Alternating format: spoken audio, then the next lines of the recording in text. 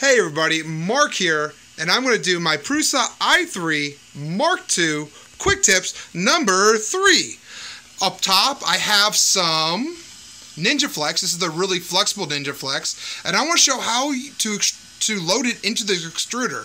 Um, I noticed when you go down here and you and you go and and do your preheat cycle. Let's go preheat, and it does all those different materials. This is awesome. This is a great built-in feature. But you click on your flexible, and it'll start heating up, so everything's basically good. Let's turn the machine to the side. Um, I noticed that when you press go, you might be able to see this. Here we set. When you press go, let's see if we can capture this on load filament. You might notice the extruder moving really, really fast. And you can see on the side, it is getting all jammed up inside that. Do you see that? That is horrible. Um, so I'll show you a way to fix this.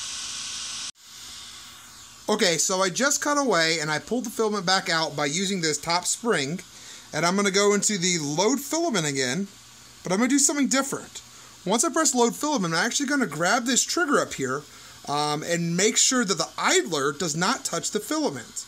Um, just while the motor's spinning fast. I noticed that every one of these commands when you press uh, when you press go to load filament, it's the same one. Um, so it's not dependent on what the filament is. It, it goes really fast to load the filament and then it slows down um, to load it slower. So I'm to try to do this really quick. Go to load filament and I'm to grab this.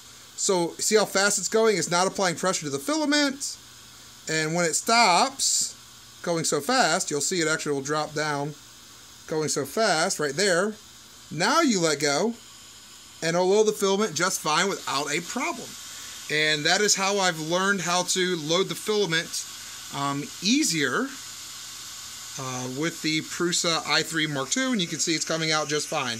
Um, I guess the Prusa research team, maybe they'll make a slow load uh, for this flexible material, um, but that's the way I'm getting around this problem right now. If you like my videos, please subscribe. If you like what I'm doing, um, please give me a thumbs up, leave comments down below, and happy printing.